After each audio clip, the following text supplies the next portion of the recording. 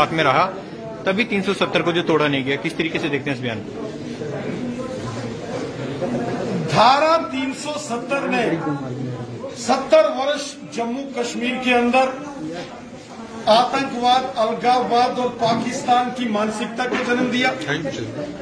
धारा 370 के कारण पश्चिम पाकिस्तान के जो रेफ्यूजीज थे उनको और उनके बच्चों को जम्मू कश्मीर में कोई अधिकार नहीं मिले?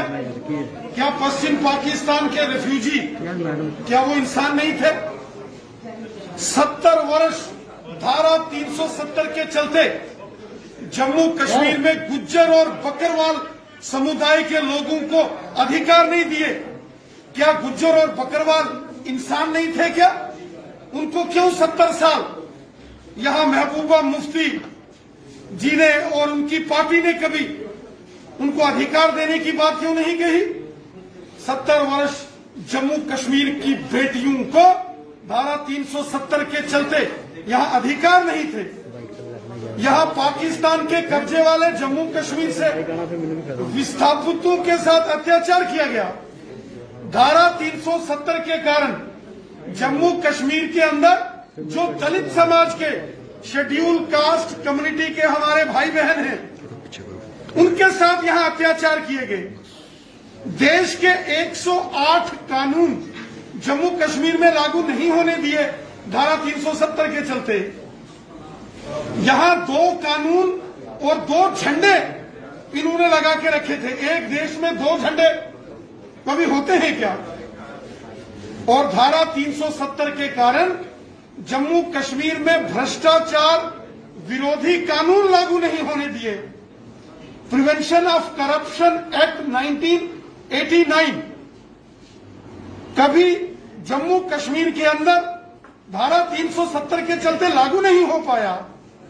राइट टू एजुकेशन एक्ट जिससे आम बच्चों को मुफ़्त शिक्षा दी जाती है, उस कानून को 70 साल यहाँ एनसी कांग्रेस पीडीपी ने लागू नहीं होने दिया। National human rights commission national commission for women, national commission for schedule caste and schedule tribes. In institutions को जम्मू कश्मीर में कभी लागू नहीं होने दिया। धारा 370 एक नफरत की दीवार थी, जिसने अलगाववाद, आतंकवाद और पाकिस्तान की मानसिकता को जन्म दिया। और धारा 370 की आड़ में जम्मू कश्मीर को लहूलुहान किया गया। आतंकवादियों के बच्चों को इन्होंने नौकरियाँ दी और आम गरीब लोगों को कश्मीर में नौजवानों के हाथों में बंदूक थमा दी। शेख सलाउद्दीन और गिलानी के बच्चे, हुरियत कॉन्फ्रेंस के नेताओं के बच्चे और जमात इस्लामिया जैसे अलगाववादी संगठनों के बच्चे, अमेरिका, इंग्लैंड ऑस्ट्रेलिया, चीन, जापान और मुंबई, दिल्ली जैसे बड़े नगरों में मल्टीनेशनल कंपनीज़ में और सरकारी तंत्र में नौकरियाँ करेंगे, ऐशो आराम की ज़िंदगी व्यतीत करें। और आम आम जो जम्मू कश्मीर का नौजवान बच्चे हैं, उनको गुमराह करके, उनके हाथों में इन्होंने बंदूकें थमाई नेताओं ने आज जब इनकी काली करतूतें सारी दुनिया के सामने उजागर हो गई है। आज जब धारा 370 के समापन के बाद यहाँ anti corruption bureau, NIA, ED जैसी संस्थाओं ने काम करना शुरू किया और वो तमाम जो लोग जो देश के लिए घातक हैं, आज जब उनको गिरफ़्तार किया जा रहा है, आज जब शेख सलाउद्दीन के बच्चों को जम्मू कश्मीर की नौकरी से बाहर निकाल दिया गया है तो जम्मू कश्मीर के कुछ नेताओं को बहुत तकलीफ़ हो रही है ये दुख कोई और है और दर्द कोई और है? इनके ज़ुबान में तो कुछ सियासी वक्तव्य हैं पॉलिटिकल स्टेटमेंट्स हैं लेकिन इनके दिल में जो तकलीफ़ है वो जम्मू कश्मीर का बच्चा बच्चा जानता है। आज जब धारा 370 समाप्त हो गई जम्मू कश्मीर का बच्चा बच्चा खुश है। लेकिन तकलीफ़ उन्हीं को है जिन्होंने लूट खसूट की लूट लूट के खाया। जिन्होंने अपने बच्चों को तो अमेरिका लंदन ऑस्ट्रेलिया चीन जापान पहुँचाया लेकिन गरीब के बच्चों को मरवाया। सर गले में पट्टे वाली भाषा को किस तरीके से देखते हैं? जो कहा भाजपा के गले में पट्टा बाँध कर है जानवर बताया है। वो तो सारी दुनिया जानती है। कि गठबंधन से बाहर आते ही जब यहाँ गवर्नर रूल लगा और उसके बाद कैसे यहाँ 5 अगस्त 2019 के बाद परिस्थितियाँ सारी बदली। इसलिए हकीकत सारी दुनिया जानती है और इन तमाम इस प्रकार के जो राजनीति करने वाले नेता हैं उन्होंने कभी जनता का भला नहीं किया है। ये जम्मू कश्मीर, पंडित प्रेमनाथ डोगरा जी का जम्मू कश्मीर है। ये ठाकुर बलदेव सिंह जी, ऋषि कुमार कौशल जी और ये मोहम्मद मकबूल शेरवानी का भी हिंदुस्तान है, जम्मू कश्मीर है, जिन्होंने तिरंगा झंडा बुलंद रखते रखते कुर्बानियाँ दी।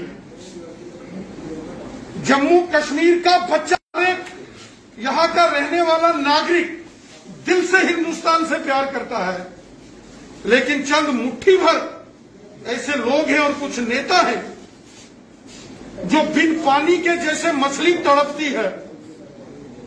इस तरीके से वो तड़प रहे हैं, उनकी तड़पन और उनकी परेशानियाँ और उनकी तकलीफें और उनका दर्द सारी दुनिया जानती है। आज जम्मू कश्मीर का बच्चा बच्चा खुश है। लेकिन चंद मुट्ठी भर लोगों को ही तकलीफ़ है। जम्मू कश्मीर खुशहाली की ओर आगे बढ़ रहा है। मजबूती की ओर। दो सवाल है। पहला मैं वो मुफ्ती कह रही है जब तक संविधान जम्मू कश्मीर का वो भारत का लागू नहीं हो जाता फिर तो जब तक दोनों झंडे नहीं याद आते मैं चुनाव नहीं लड़ूँगी। दूसरी बात उन्होंने कही जैसे सैयद सलाउद्दीन के दोनों बेटों को बर्खास्त किया उन्होंने कहा पिता की सजा जो है वो बेटों को नहीं देनी चाहिए। इस पर आपको क्या सैयद शेख सलाउद्दीन जो हिजबुल मुजाहिदीन के एक आतंकी संगठन के कमांडर है जो पाकिस्तान में बैठ के खूनी खेल खेल रहा है, जिसने हज़ारों बेगुना बच्चों का कत्ल करवाया है, हज़ारों सैकड़ों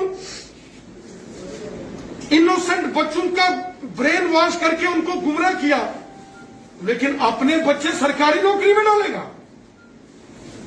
और गरीबों के बच्चे उनके गले काटेगा और गले कटवाएगा। ये दोहरी राजनीति और रणनीति नहीं चल सकती। एनआईए ने जाँच करके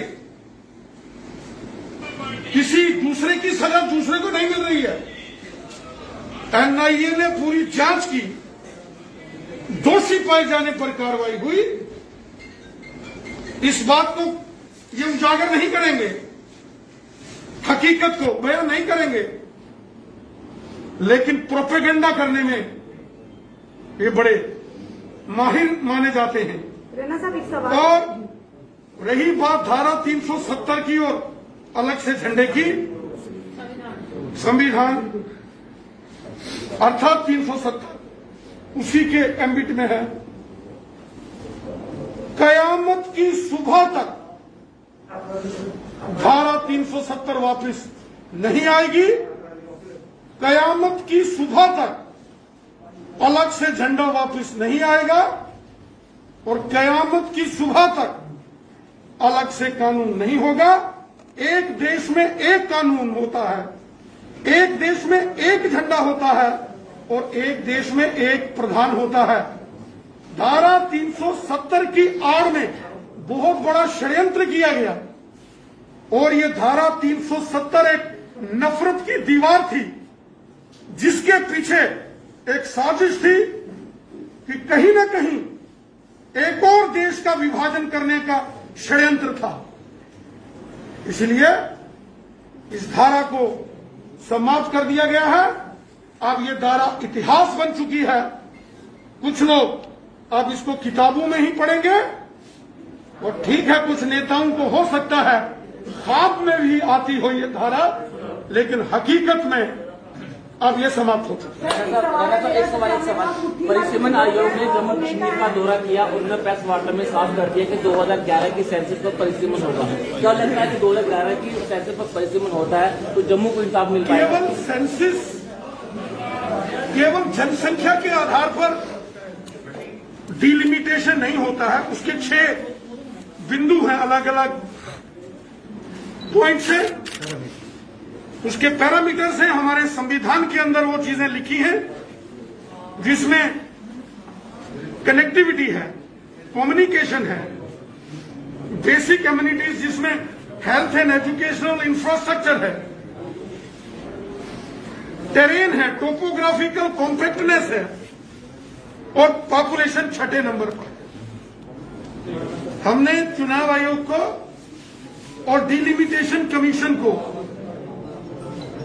वो सारे तथ्य उनके सामने रखे हैं, जिसके ज़िक्र मैंने पहले भी आपके सामने किया है। और मुझे लगता है कि वो सारे कंसीडर किए जाए